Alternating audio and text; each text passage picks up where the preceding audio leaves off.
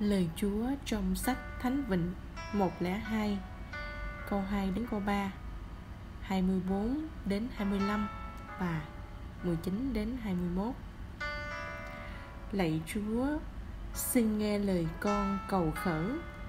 Tiếng con kêu mong được thấu tới Ngài. Buổi con gặp Giang Truân Xin Ngài đừng ẩn mặt. Trong Ngài con cầu cứu xin ngài lắng tai nghe và mau mau đáp lời. Chúa làm tôi kiệt lực giữa đường đời. Tuổi thọ tôi, người rút ngắn lại. Con nói, lạy thiên chúa của con, ngài là đấng vạn đợi trường tồn. Xin đừng cất mạng con giữa cuộc đời gian dở. Điều này phải ghi lại cho đời sau được biết dân hậu sinh phải ca tụng Chúa Trời. Vì Chúa đưa mắt từ tòa cao thánh điện, từ trời xanh đã nhìn xuống cõi trần, để nghe kẻ tù đài rên xiết thở than và phóng thích những người mang án tử. Tạ ơn chúa. Thưa quý vị và các bạn thân mến trong cuộc sống mỗi người chúng ta đều trải qua những đợt khám sức khỏe định kỳ ở bệnh viện, phòng khám đa khoa hay ở trung tâm y tế.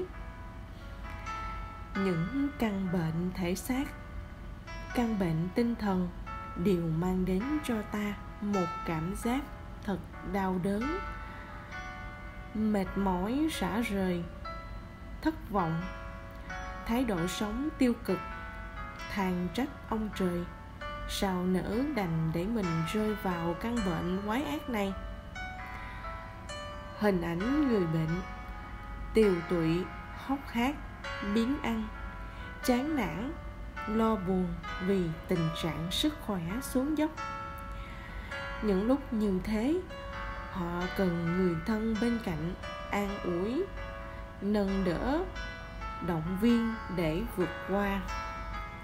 Khi rơi vào trạng thái bi quan, tiêu cực, người bệnh cần được nuôi dưỡng đức tin vào niềm tin tôn giáo. Đó là thiên chúa. Đấng không hề bỏ rơi ta bao giờ.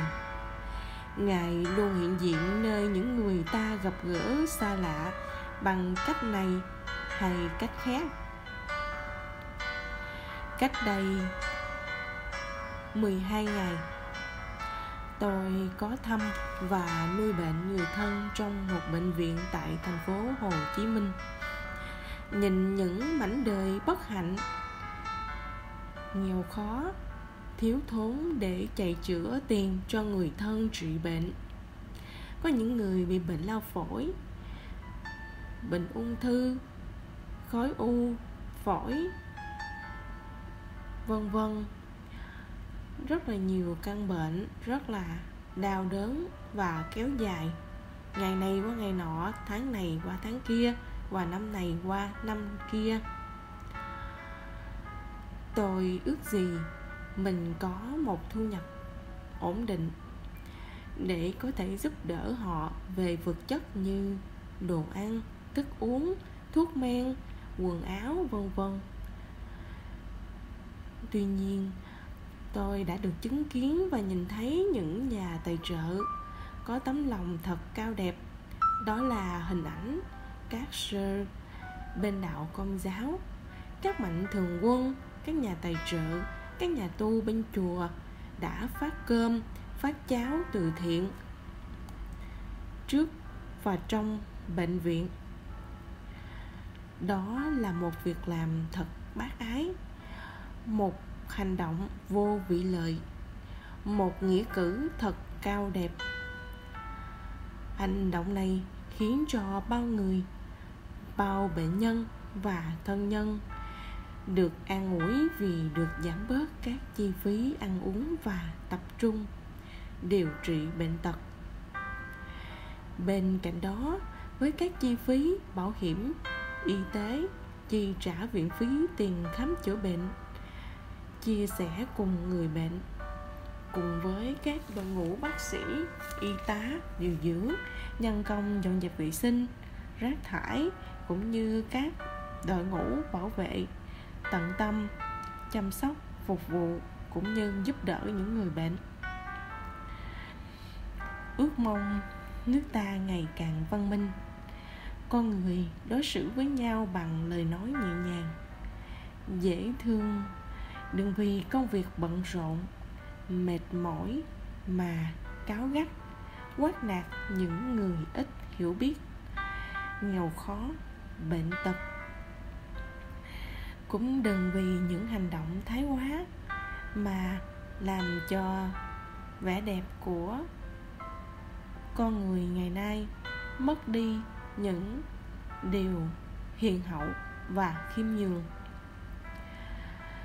nguyện xin chúa chúc phúc và ban pháp lành cho tất cả các đội ngũ y bác sĩ, y tá, điều dưỡng, bệnh nhân, thân nhân cùng những nhà tài trợ thiện nguyện, nhân viên lao công, bảo vệ, được sức khỏe, bình an và một năm mới thật nhiều hạnh phúc.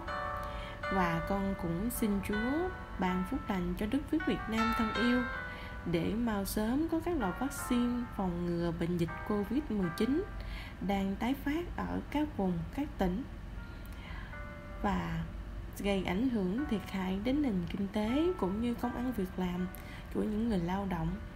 Nhất là tất cả các em hiện tại đang đi học các thầy cô giáo cũng như các quốc gia lân cận. Xin chúa hãy chúc lành cho tất cả. Amen.